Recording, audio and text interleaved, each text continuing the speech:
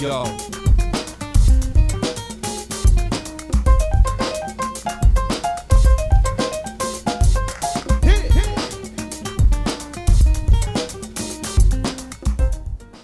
Uh, my name is Shahjahan Sheriff and I work for Portland Community College, uh, Cascade campus in the gymnasium uh, as a front desk staff. My job duties are pretty simple, you know, but I kind of take this job as kind of, um, you know, students coming in term to term. There are a lot of them are really stressed out and uh, a lot going on. So I try to be a factor, not just send them the card, but to really, uh, you know, treat them as, you know, treat them well and to make sure that they um, that they get whatever that they're coming here to look for. So this is a great uh, place to come and get a workout, um, you know, term to term, you know, you could pay, uh, if you're a PCC student for staff, you know, $12 per term and you could have them have the usage of the facilities um, Monday through Saturday.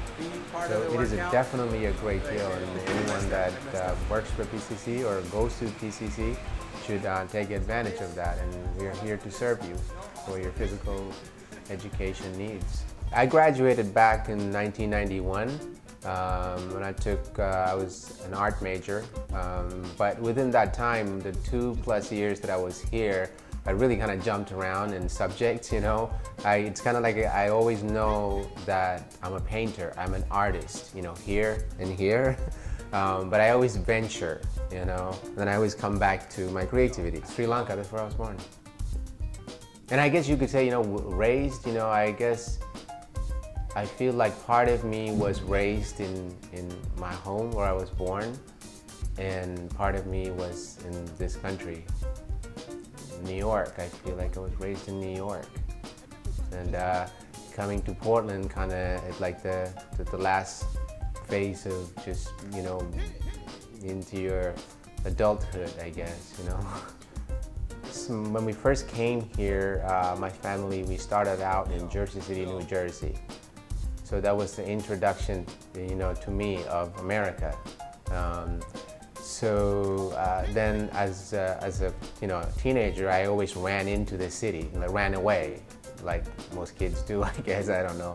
But, um, and that was, I think, partly to look for, you know, I didn't know it back then, for, for music and art and definitely dance. And you know, 1978, you know, a little bit after that, that's when I feel like you know, breakdancing and um, you know, soul music was just at the height, and I just kind of went fell right into it. To go into the city where creative arts, I usually feel like it really thrives. Uh, my earliest memories of uh, creating art, I have to say, I was probably a you know graffiti artist back in Sri Lanka. I would find coal, you know, which is after a wood is burned, you have coal, and I would draw with them on white walls, of course, mind you, freshly painted white walls at home, and of course you get into trouble with your folks, you know. But every evening, you know, back home, you know, people take a nap Perfect opportunity, you know, when people take a siesta, which is, I don't know what it's called in Sri Lankan, but in Tamil, um, I, it was my opportunity to go, you know, get some coal and just go at it. So that, the language I speak is Tamil, so I would always sing Tamil songs, um, uh, like listening to radios. அன்புள்ள மான்கிளியே ஆசையிலோர் கடிதம் நான் கைகளில் எழுதவில்லை துயர் கால்களில் எழுதி வந்தேன் Man telling the woman that he's going to write her a letter. I like Georgia O'Keeffe's work.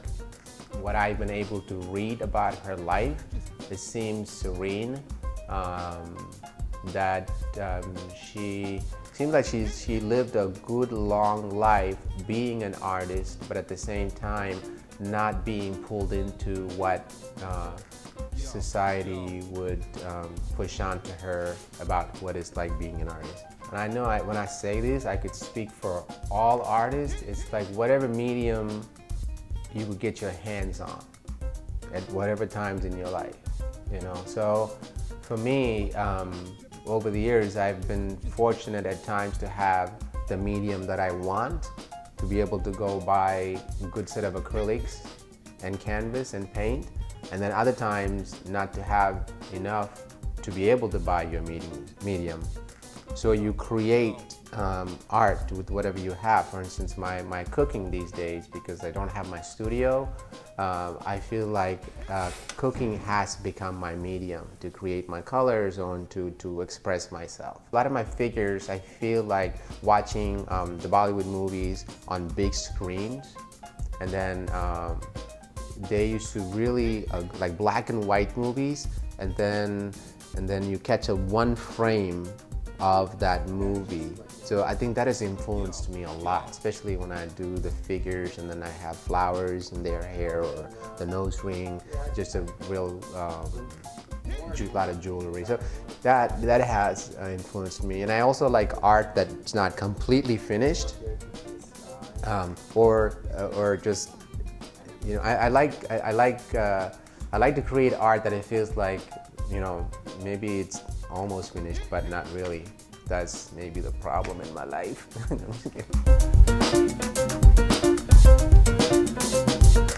yo, yo.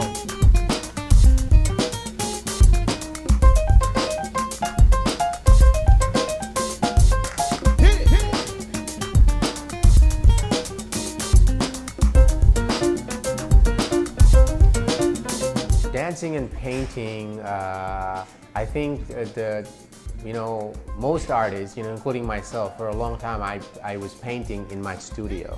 And it just felt like a, a just a, a lonely activity, you know. So when I started to paint in front of people, and I, I felt like I was able to invite other people literally into my life and to my canvas.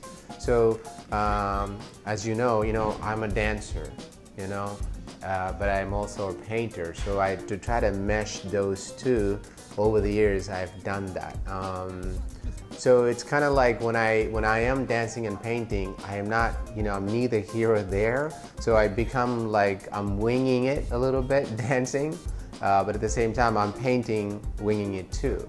But a lot of time I found over the years, people and kids will come up and I'll let them put a whole bunch of paint on my canvas and then I kind of use that to, to create a piece of work. Sometimes it works, sometimes it doesn't. But you know, it, it's, I guess it was my process.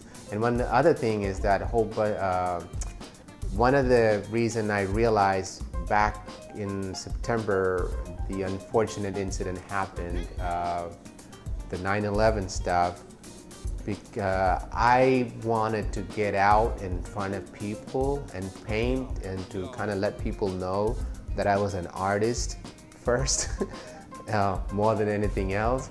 So I don't know if that kind of played into because that's kind of when I started to paint in front of people, not just on Alberta Street, but in front of my shop on MLK. And then because I wanted, I wanted to be identified with an artist, nothing else, not my skin, not my religion, just you know. Um, and, it, it, and, and, you know, that's what I could tell you.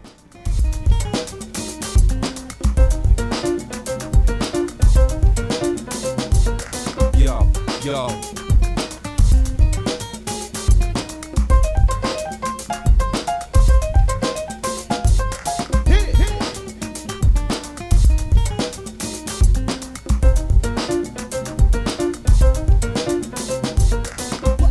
Now, you know, no matter how this project turns out, I feel like I could just die and go on to heaven. You having fun? Yeah. Good. No, seriously, I just, it's just like, and I do all of everything else in life to keep going, but I know it's like some form of creativity, you know, makes me living. So if I could take a picture of this, hold it in front of me on the coldest day and go, hey, I was around five five of us doing doing this, you know, right here, camera. All right.